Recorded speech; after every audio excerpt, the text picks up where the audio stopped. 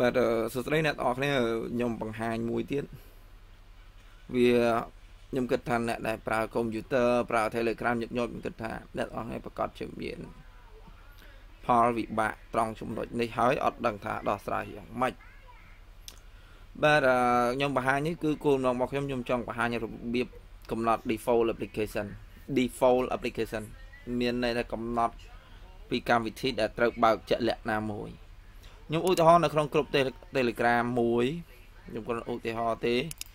អ្នកខ្លះមានឯកសារផ្ញើមកអញ្ចឹងជា Word ជា Excel ជា PowerPoint ឬក៏ជាតំណភ្ជាប់នៃការប្រជុំ link អីហ្នឹងបើកទៅបើកអត់កើតចុច double click លើ file មួយហ្នឹងទៅបើកអត់កើតតលតែចុចម៉ៅខាងស្ដាំយក open in folder ហើយទៅបើកមើលឥឡូវនៅក្នុងនេះវាមិនសូវមានឯកសារទៀត ចាំមើលខ្ញុំរកក្នុងក្រុមណាមួយដែលមានឯកសារច្រើនបាទឧទាហរណ៍នេះ ជាឯកសារ PowerPoint បើកទៅមើលអត់ឃើញ Excel double click ចឹងអត់ចេញបាទ double click អត់ចេញបាទ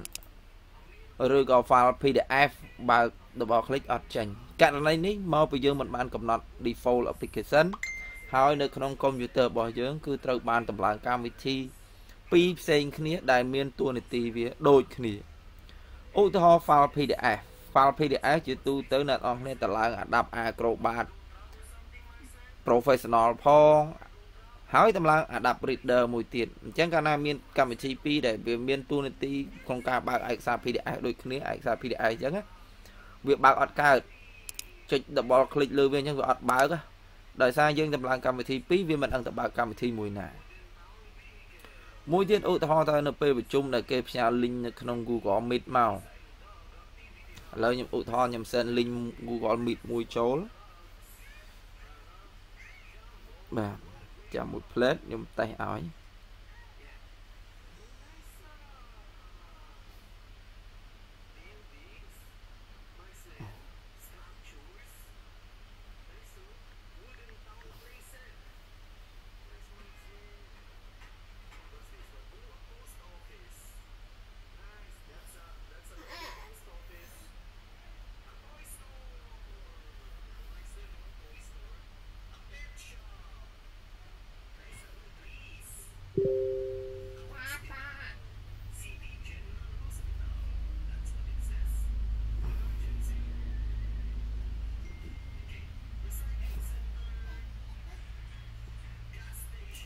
បាទឥឡូវខ្ញុំ save មកនេះហើយនេះ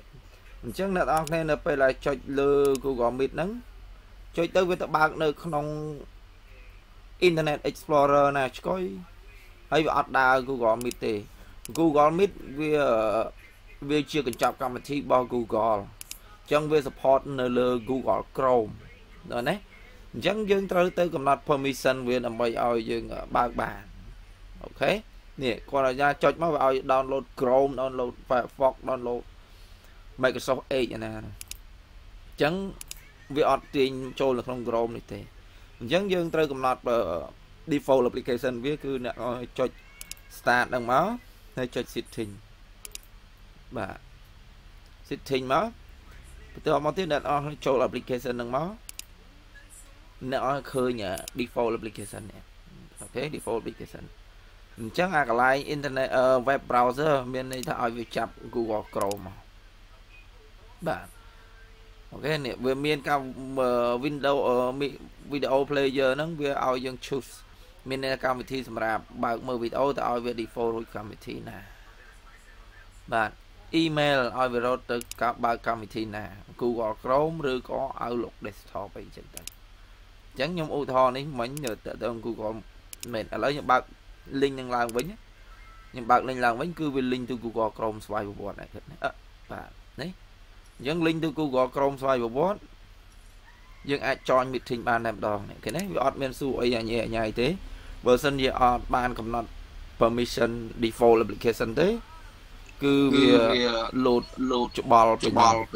បាទអរគុណច្រើន